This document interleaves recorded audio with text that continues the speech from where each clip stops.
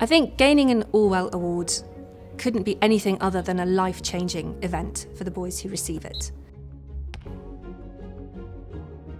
It's a full financial scholarship for an academically gifted boy who is looking to join a sixth form where there may be better facilities available to him, more opportunities than perhaps those he currently has was just the difference. I'm from East London, so it's a completely different thing coming to a school like this, but it's not as daunting as, as it seems. There is no door that doesn't open for you once you're here. You might have limitations, you might have a glass ceiling that's stopping you, but you shatter that glass ceiling as soon as you come here. They push you to, to reach that full potential, to think at a higher plane. You're always taught to try and look at things from a perspective that could be different to yours. In preparation for university, I think that's pivotal.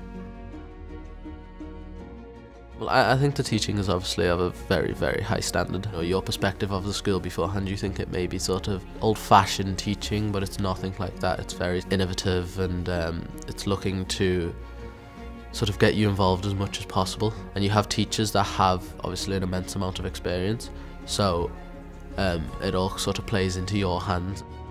I would definitely say I've achieved more academically through coming to Eton, especially because teachers at Eton simply go above and beyond you know, the individual needs of each student are met and you know, each student's learning style is catered to.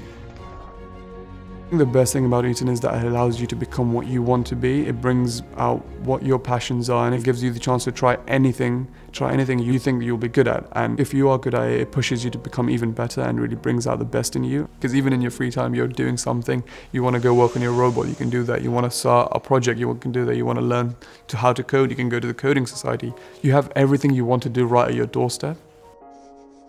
The process of applying is really quite simple. Ideally come and see us for the open day, which is very early in September.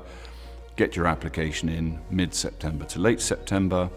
We then do some shortlisting and the successful applicants would then come for an assessment with us in early to mid-November.